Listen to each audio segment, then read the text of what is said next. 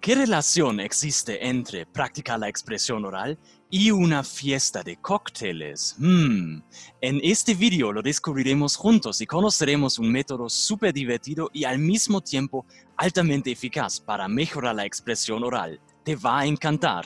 Pero ¿cómo funciona? Los alumnos del curso representarán diferentes papeles y se reunirán en una fiesta ficticia de cócteles para hablar sobre sus vidas en alemán. A través de este ejercicio, los alumnos aprenderán a improvisar y mejorar su expresión en contextos nuevos y desconocidos.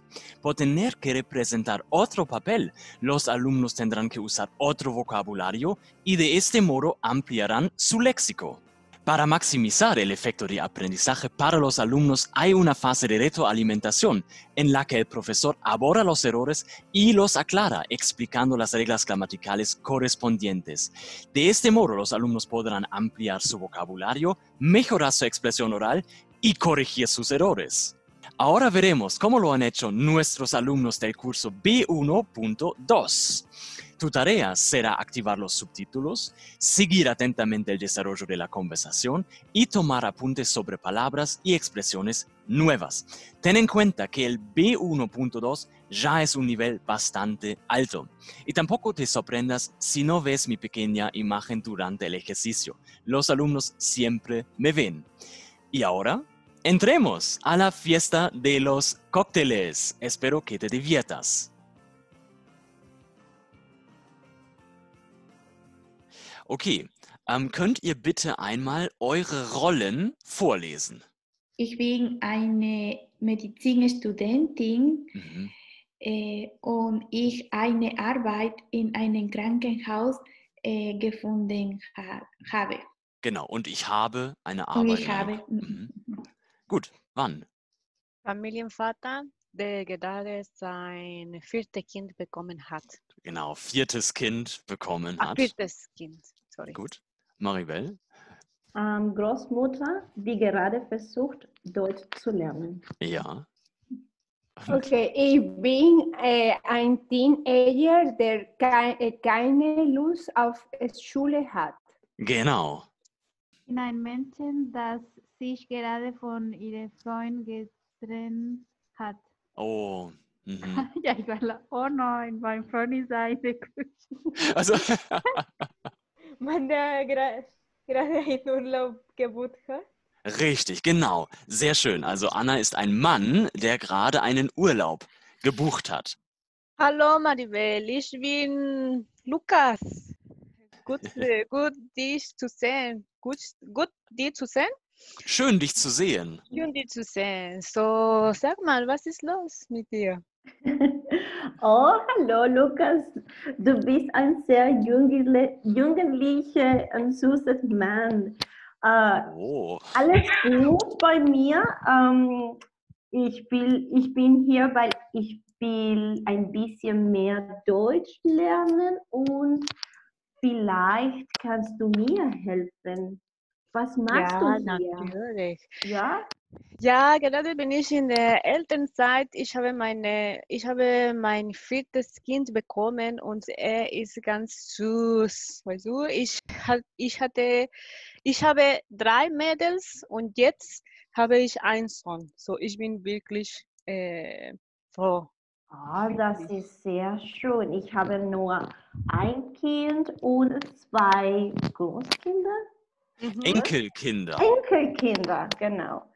Aber die Enkel, die, ähm, mein, mein Sohn ist ein bisschen krank. Vielleicht Vanessa, arbeitest du in einem Krankenhaus? Hallo, hallo. Hallo. ja, genau. Jetzt bin ich fertig mit meinem Studium Mhm. und zum Glück habe ich eine neue Arbeitsstelle gefunden. Ich bin sehr, Mhm. sehr Wow. glücklich. Und ja, bitte, wenn du ein Problem mit deinen Eltern hast, kannst du mir einfach fragen, kein Problem. Aber jetzt bitte genießen wir die Party und ich möchte heute Abend nicht über Krankheitsprobleme Problemen hören oder so. Mhm. Aber diese kleine Mädchen, siehst du, diese kleine Mädchen ist ein bisschen traurig. Was ist los mit dir, Laura? Ja, ich bin ganz traurig, weil ich war mit meinem Freund vor drei Jahren zusammen und gestern haben wir entschieden, die Beziehung zu Ende. Oh, armes Mädchen. Es tut mir sehr leid. Ja, Aber was ist passiert? er hat einfach viel getrunken. Und ich habe eine alkoholische Vater. So, dieses Problem ist für mich so schlimm. Hm, sollte nicht mehr so bleiben, weil Alkohol se... Ah, wir sind in einer Party. Oh, Entschuldigung. Deswegen trinke ich nur Wasser heute. Laura, du hast eine gute Entscheidung gemacht. Und du bist sehr jung, weißt du? Das Leben ist immer lang und dann du kannst einfach äh, Und andere... es gibt immer Fische im Meer. Genau. Ja. Zum Beispiel heute, Ja. es gibt anderen Mann, oder? Und er möchte Lateinamerika kennen. ja, Anna. komm, komm, Ja. Ich werde dich mit, mit ihm ähm, Bekannt machen. bekannt machen. He, äh, Andrew, hier ist Laura. Laura, Andrew. Laura, wie geht's dir?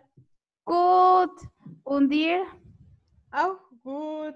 Ich habe ein Reise gebucht für den ganzen Europa.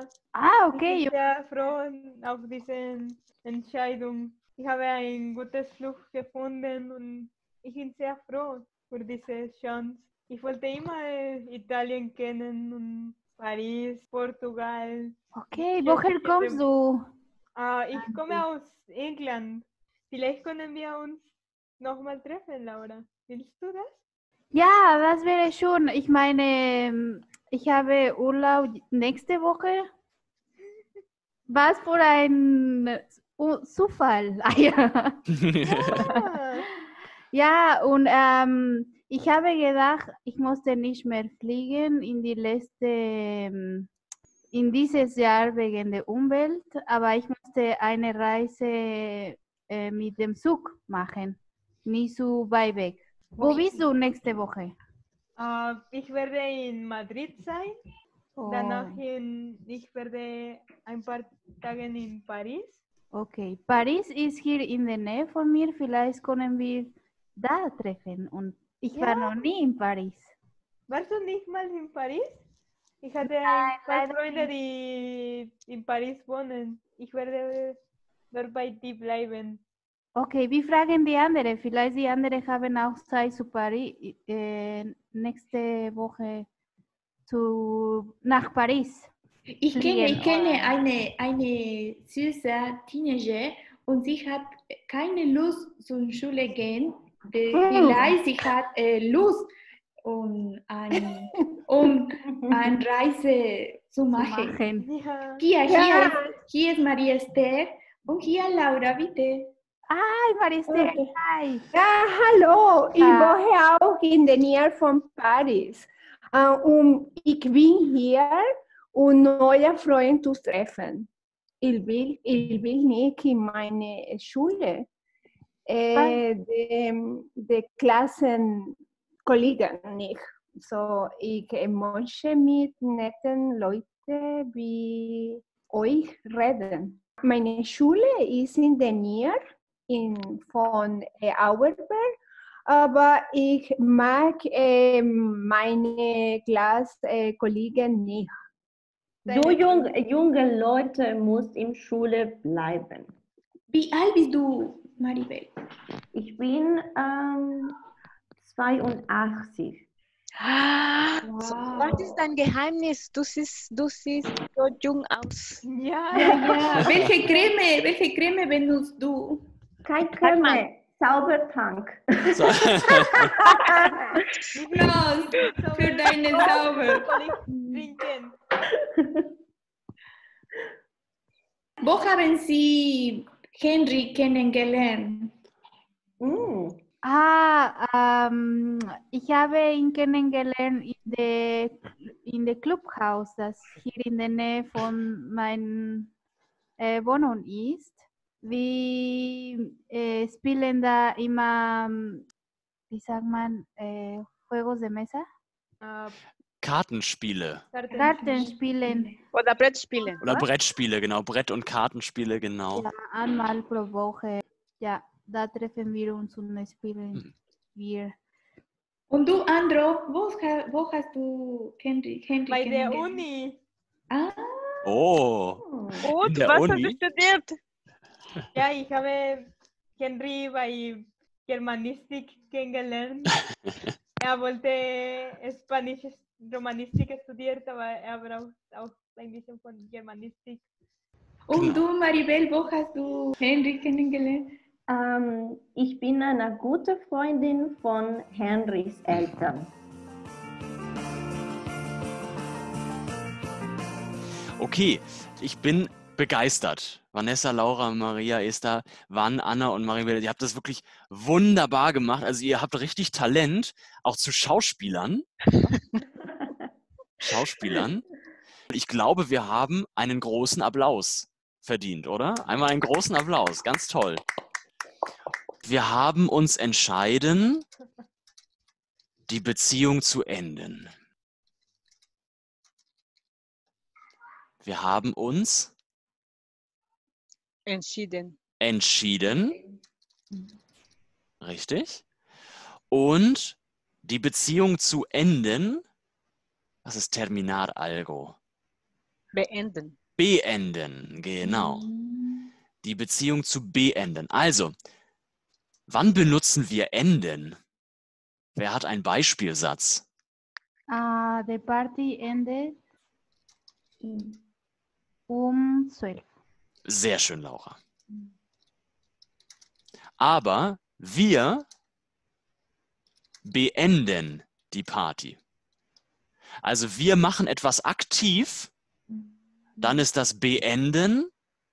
Aber wenn zum Beispiel die Party, das Fußballspiel, dass es dann endet. Es ist nicht passiv, aber es ist Mhm. so eine passive Bedeutung. Ne? Gut, sehr schön. Ähm, ich habe eine gute Entscheidung gemacht, Getroffen. getroffen. Getroffen. Tomar una buena decisión. Ich habe eine gute Entscheidung getroffen. Gut. Jemanden mit jemandem bekannt Ich machen. habe eine Frage. Ja. Kann, kann es auch sein, zum Beispiel, ich vorstelle dir mit ihm? Ja, genau. Das ist dann ein bisschen komplizierter. Ähm, jemanden, jemandem vorstellen. Also, ich stelle Dich dich ihm. Ihm. ihm vor. Stelle dich ihr oder ihm. Ihm vor. Ihm, Vor. genau, oder ihr vor. Vor. Richtig. Mhm. Perfekt, genau. Como se yo me presento Ich stelle a vosotros. Ich stelle mich euch vor. euch vor. Vor. Perfekt.